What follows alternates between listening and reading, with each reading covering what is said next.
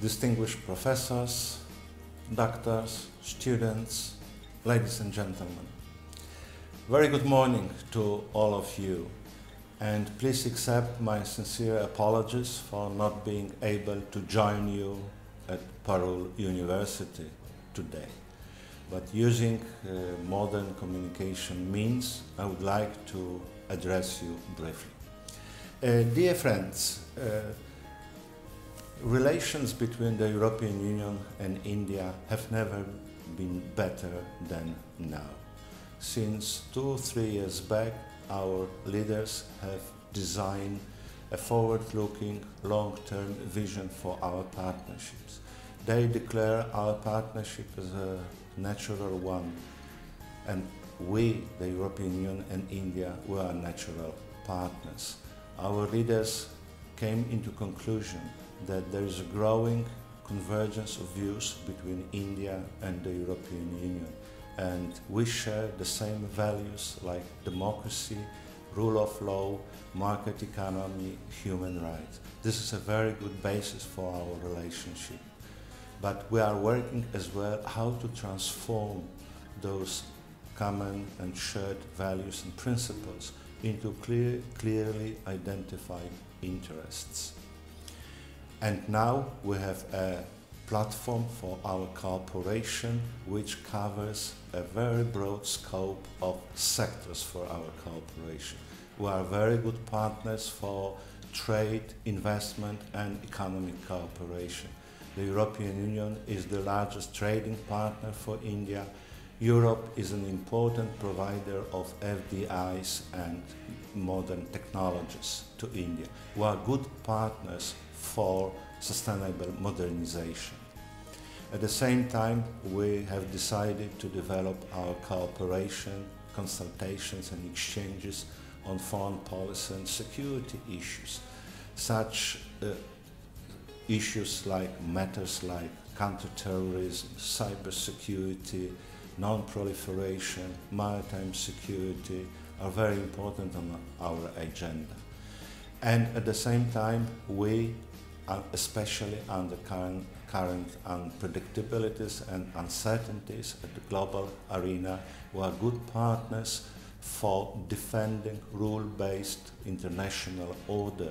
We are very much in favor of developing multilateralism, which will be good for all of us. And in this context, what is very important is cooperation which covers peoples to peoples contacts because we as governments we are responsible for broadening scope of our partnership and cooperation. We need to build a strong basis for our future cooperation. And in this context, I would like to inform you, and I'm pleased to inform you, that only yesterday the EU member states uh, endorsed an EU strategy for relations with India. In this basic paper, uh, we have expressed our full political commitment to develop, develop relations with India uh, in all possible sectors. Our strategy has uh, been well perceived by the Indian government and I'm absolutely convinced that working together we will be able to make our cooperation even more result oriented and more fruitful in the interest of the people of the European Union and India.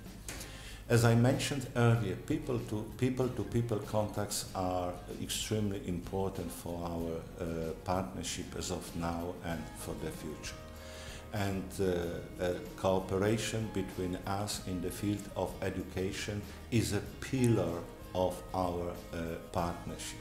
And I'm really happy to inform you that the number of Indian students, scholars, researchers going to Europe uh, is steadily increasing. At the same time, uh, interest among European students and European scholars to come to India is also growing. And uh, as of now, we have more than 50,000 students in, uh, in Europe. uh, and this number uh, is increasing as well. Europe is becoming more and more attractive destination for Indian uh, nationals. And the Indian students are present in all EU member states. We have uh, hundreds of uh, world-class universities which are able to provide uh, education uh, in English or in uh, other uh, popular languages. We are happy of it. And of course, there are different channels of going to Europe uh, through scholarships provided by the European Union, by EU member states, by universities, or in the framework of bilateral contacts between uh, universities from Europe and from India.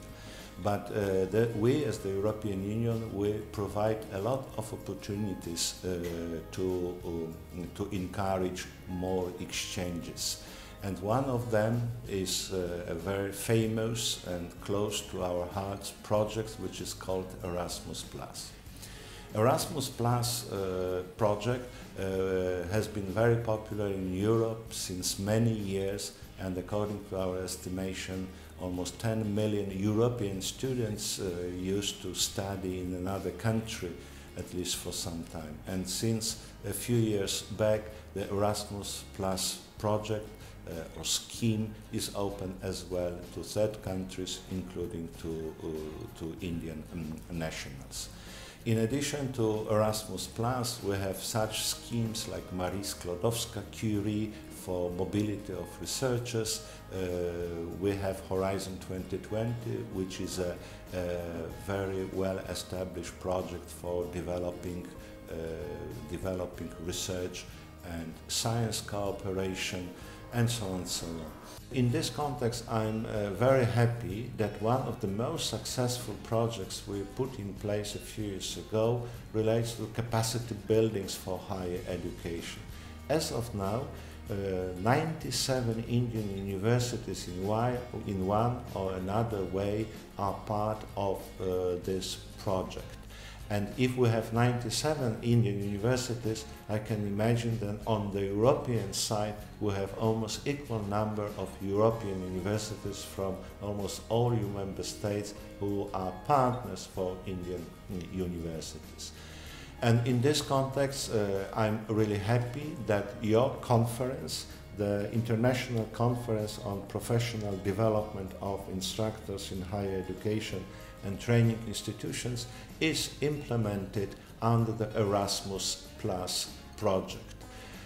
I'm absolutely convinced that the results of your uh, deliberations today and tomorrow will bring positive results and they will uh, be used uh, for daily work of many higher education institutions, both in Europe and here.